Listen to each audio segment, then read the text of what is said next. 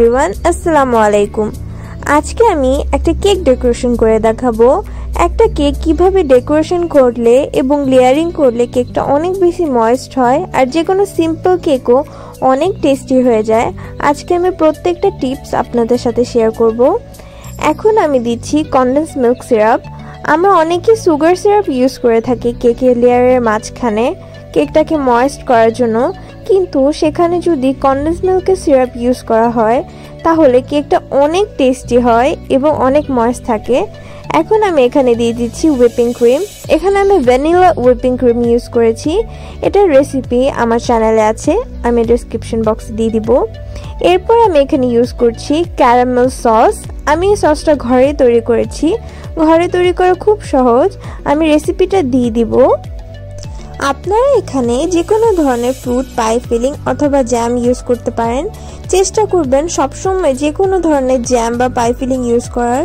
তাতে কেকের টেস্ট অনেক বেশি বেড়ে যায়। চকলেট কেকের ক্ষেত্রেও মাঝখানে গানাশ ইউজ করার চেষ্টা করবেন। প্রত্যেক লেয়ারে আমি এখানে মিল্কের সিরাপটা দিয়ে দিচ্ছি। কন্ডেন্স মিল্কের সিরাপটা তৈরি করতে হলে ওয়ান থার্ড কাপ পরিমাণ কন্ডেন্স মিল্ক আর ওয়ান থার্ড কাপ পরিমাণ পানি আর এক টেবিল চামচ পরিমাণ চিনি ইউজ করবেন।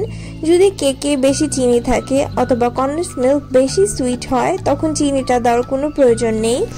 আপনাদের বাসায় যদি প্যালেট নাইফ না থাকে, আপনারা এখানে যে কোনো ধরনের নাইফ ইউজ করতে পারেন। আমি আজকে সবচেয়ে ইজি ওয়েতে কীভাবে কেক ডেকোরেশন করা যায় অথবা লেয়ারিং করা যায় তা দেখাচ্ছি।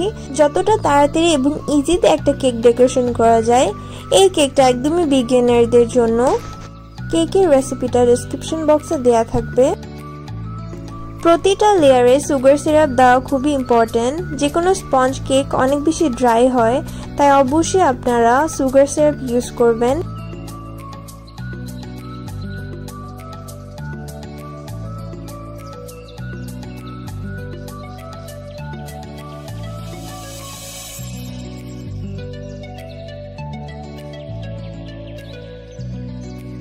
এখন আমি এর উপর কন্ডেন্স মিল্ক ইউজ করছি। কন্ডেন্স মিল্ক দেওয়ার কারণে কেকটা অনেক টেস্টি হয়ে যায়। অবশ্যই একবার ট্রাই করে দেখবেন।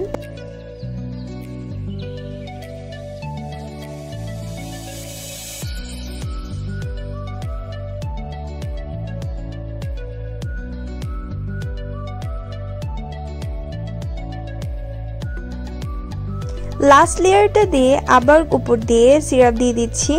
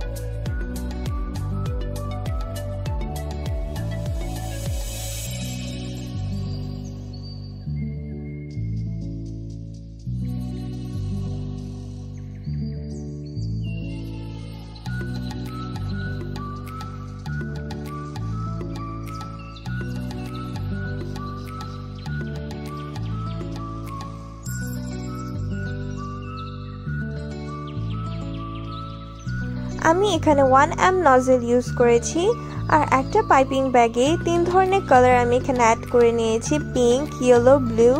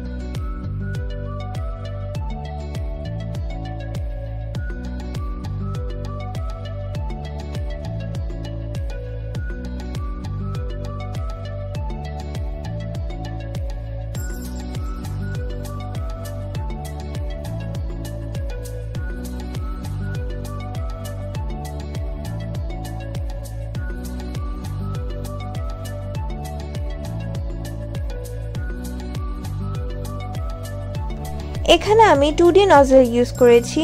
টু ডি নজল দিয়ে বিভিন্ন ধরনের প্যাটার্ন তৈরি করা যায়। আমি নজলের ভিতরে ইয়েলো কালারের উইপিং ক্রিম ইউজ করেছি। উইপিং ক্রিমের রেসিপিটা আমার চ্যানেলে আছে। খুবই স্টিফ এবং গরমে গলে যায় না এমন একটা রেসিপি আপনারা চাইলে দেখে নিতে পারেন। কেকটাকে এখন আমি কেটে দেখাচ্ছি।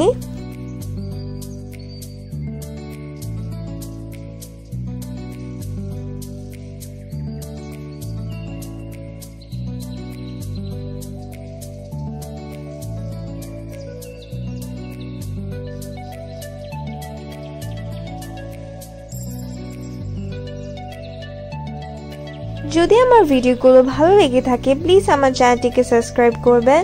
আর অবশ্যই একটা লাইক দিবেন। বেল আইকনটি বাজাতে ভুলবেন না। তাহলে আমি যখনই ভিডিও দিব, সবার প্রথমে আপনার কাছে চলে যাবে। আজকের জন্য এতটুকুই। আল্লাহ হাফিজ!